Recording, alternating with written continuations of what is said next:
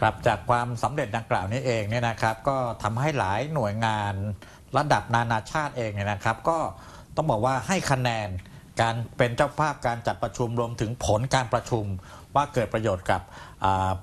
นานาชาติอย่างมหาศาลเลยทีเดียวนะครับหนึ่งในนั้นก็คือ IMF นะครับโดย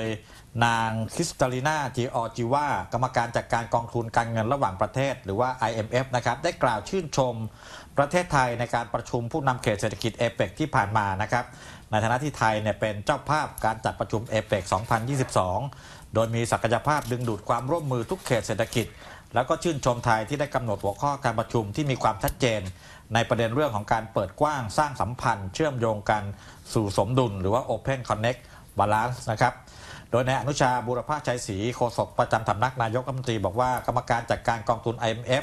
ได้กล่าวถึงข้อเสนอแนะ เพื่อรับมือกับผลกระทบจากสถานการณ์ความท้าทายต่างๆ ที่เกิดขึ้นว่า โลกเปลี่ยนแปลงไปมากจากการต้องเผชิญกับสถานการณ์ที่ไม่อาจคาดการได้ ซึ่งการระบาดของโควิด -19 สร้างความเสียหายทางเศรษฐกิจแบบถาวรมากกว่า 5.3%ของ GDP ของโลก เขตเศรษฐกิจเอเปกส่วนใหญ่กำลังจะรอตัวและอย่างน้อยหนึ่งในสามของโลกกำลังเข้าสู่ภาวะถดถอยในขณะที่ประเทศและภูมิภาคหลักอย่างสหรัฐจีนและยุโรปซึ่งเป็นเครื่องยนต์หลักของการเติบโตของโลกก็กำลังจะรอตัวลงพร้อมกัน นั่นกำลังส่งผลกระทบต่อการส่งออกของตลาดเกิดใหม่ อย่างไรก็ดีภูมิภาคอาเซียนยังถือว่ามีข้อได้เปรียบ และเป็นจุดโดดเด่นที่จะได้รับประโยชน์จากการเงื่อนไขของการปรับปรุงทางการค้านะครับ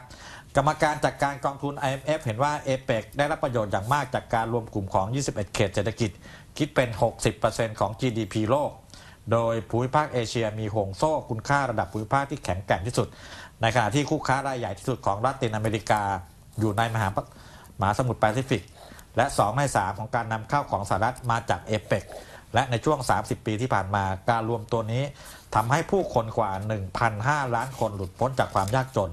และอีกหลายร้อยล้านคนเข้าสู่ชนชั้นกลางนะครับนี่ก็เป็นคำชื่นชมของอกรรมการจัดการกองทุนการเงินระหว่างประเทศนะครับหรือว่า IMF นั่นเองนะครับ